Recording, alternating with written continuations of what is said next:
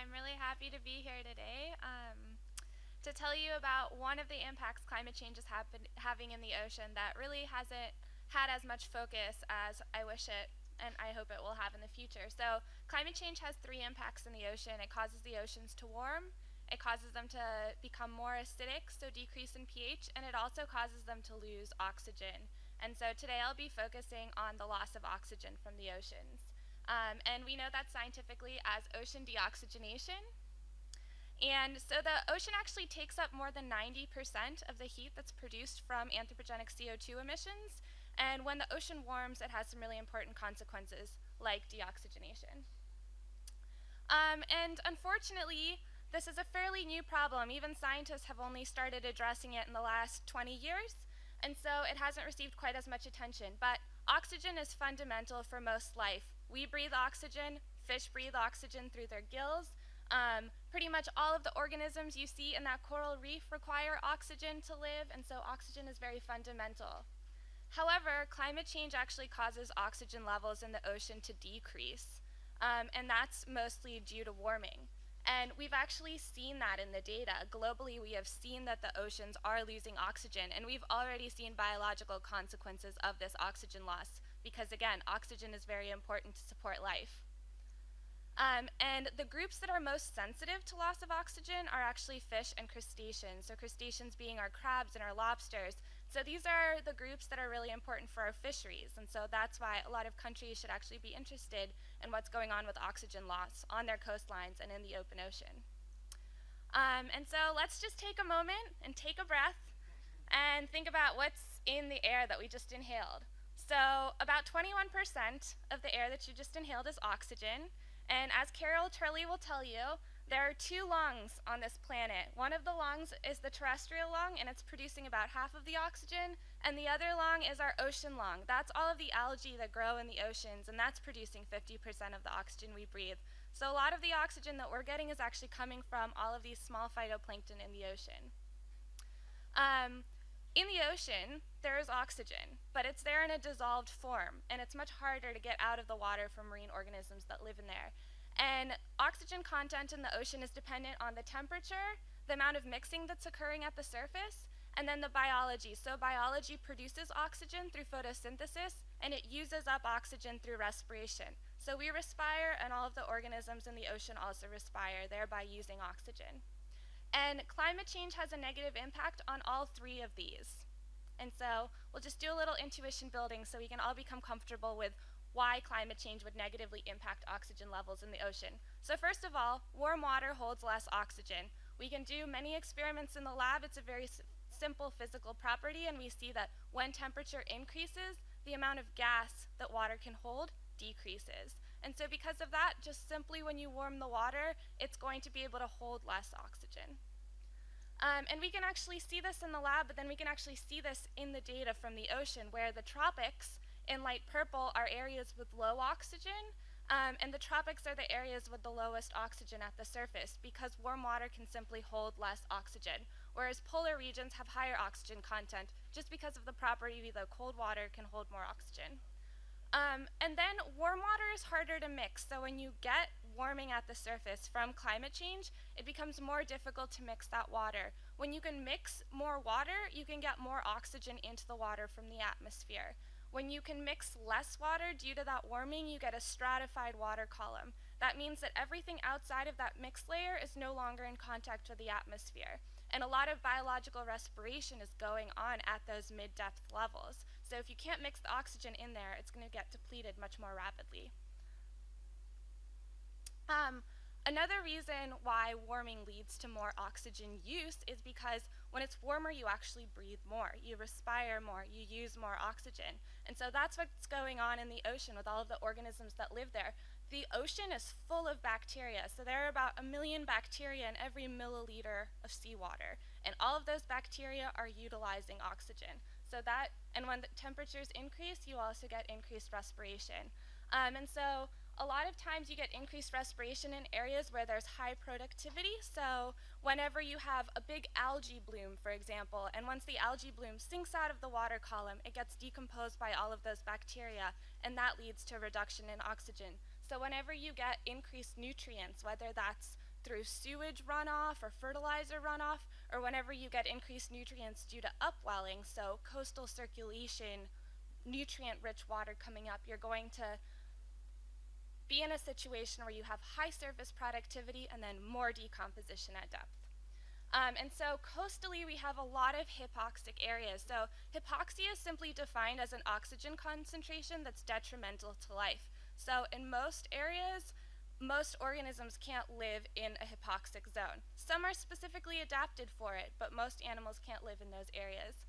And so um, in red, you can see all of the coastal hypoxic zones. There are more than 400 identified now. And so these usually correspond to areas with dense populations. And so these are primarily driven by a lot of nutrient runoff from our farms, from sewage.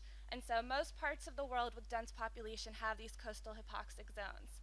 And so if you actually go on Google Earth and you go into Google Ocean, you can take a look to see all of the hypoxic areas that have been identified in your own area. So that's us at the National Stadium, and you can see the Baltic Sea actually has quite a few hypoxic zones. Um, there are also open ocean low oxygen zones. We call these oxygen minimum zones. And they're naturally occurring They're because we have really nutrient rich water at the surface and once we have high productivity at the surface and it sinks down and gets decomposed, it utilizes a lot of the oxygen.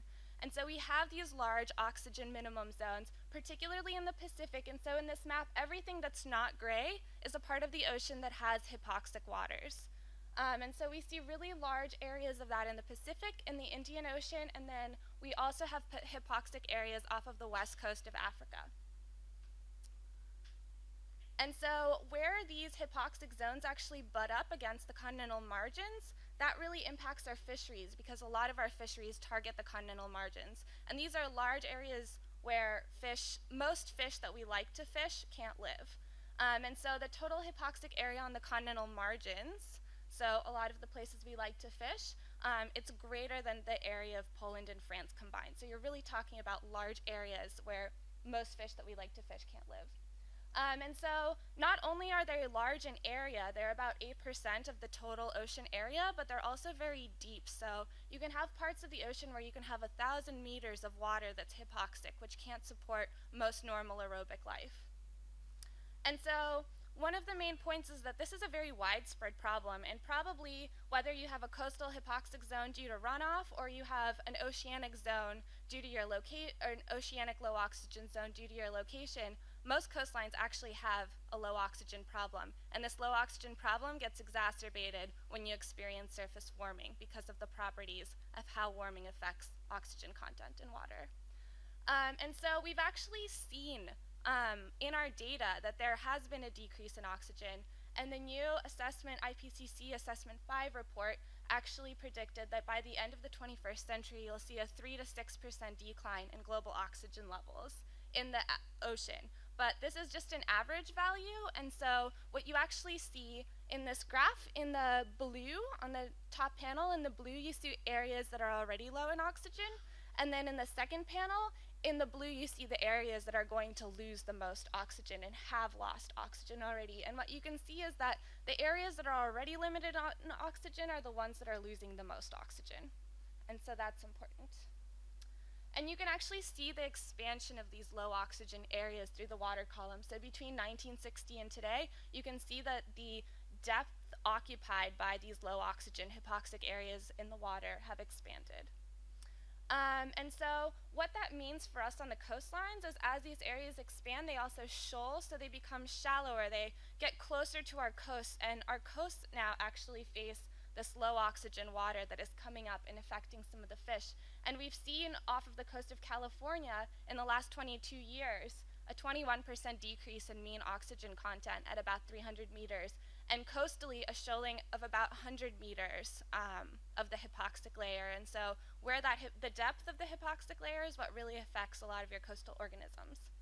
Um, and so, what we can see when we look at physiology in the lab is that there are certain groups that are most sensitive to low oxygen. And we can look at this in terms of lethal concentrations, and so what causes an organism to die, or we can look at this with sublethal concentrations, so what causes an organism to grow less or to reproduce less. And we can see that for both of these, crustaceans and fish are our most sensitive groups. And we can see that in the lab, but we can also see that in the field. We have mortality events, large mortality events in the Gulf of Mexico. When you get a hypoxic area, you have a low oxygen event, you have dead fish. This is a really fast impact. We also see that off of the coast of Africa where there's low oxygen water that shoals. Crustaceans, lobsters will just walk out of the ocean because the oxygen is too low for them and you'll have a widespread mortality event.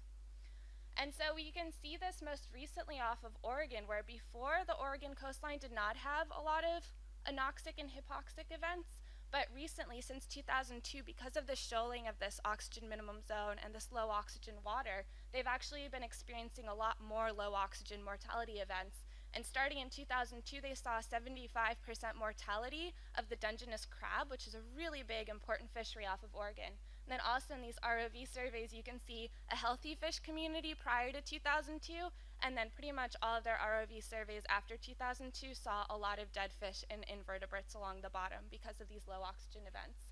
And so what that means for the greater ocean, um, it results in habitat expansions and contractions. So there's some organisms that actually really like low oxygen because they've been adapted to it through evolutionary time. So this fish on the right actually does great with very low oxygen concentrations. And so organisms like that will see their range expand.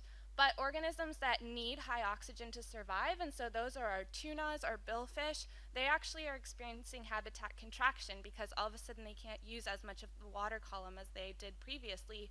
And so we've already seen a 15% reduction in the habitat of tuna in the Atlantic um, because of the, the expansion of these low oxygen areas. Um, there's also been a decline um, in mesopelagic fish. So these are small midwater fish that are really a very important component of the food web. They feed everything at the top levels of the food web, and so they're very sensitive to low oxygen. Um, and then also we've seen habitat expansion of the Humboldt squid. So the Humboldt squid can do well in low oxygen conditions, and it actually has expanded all along the west coast of the US. Um, and they compete with hake and they also eat hake. So the hake fishery has not been doing as well, but the fishery on Humboldt squid has been doing better. Um, and so a really important point is that low oxygen areas are carbon dioxide maximum areas. Um, whenever you use oxygen, you produce carbon dioxide. That's just through respiration. And so whenever we see an area that's low in oxygen, it's always high in carbon dioxide. So when we see the shoaling of these low oxygen areas, we actually see the shoaling of very low pH water. Um, and so that's exactly what we've been seeing off of the west coast of the United States, where some of the water that's coming up is 7.6, 7.75, very, very low pH. Um, and what that also means is it has very high CO2 concentrations. And so some of these waters are 1200, um, and for example, surface is 400 um, parts per million. And so this is actually water that is net fluxing carbon dioxide out of the water instead of taking it up. So there are some important feedback implications. So we really need to pay attention to ocean deoxygenation because it has very important biological effects. We know that it's declining and we know that it will decline in the future um, with, with surface warming. Um, and we know that it probably will have some important impacts for a lot of coastal economies. Um, however, because it's such a new topic, it really hasn't had too much of a focus and it didn't make it into the summary for policymakers, even though it's really a problem policymakers should be thinking about because it can impact their local economies. Um, and so small changes in temperature can have very drastic impacts on oxygen content. So just a one degree increase in surface warming will triple your suboxic zones and increase your hypoxic areas by 10%. Um, we know that it has profound consequences on biodiversity, on fisheries income, um, and we know that it also has environmental feedbacks in terms of greenhouse gas emissions because a, a, really potent greenhouse gas, nitrous oxide, is produced in low oxygen areas. And in the historic record, we actually see that um, oxygen depleted areas in the ocean are very tightly correlated with warming periods. So we know how this works in the past.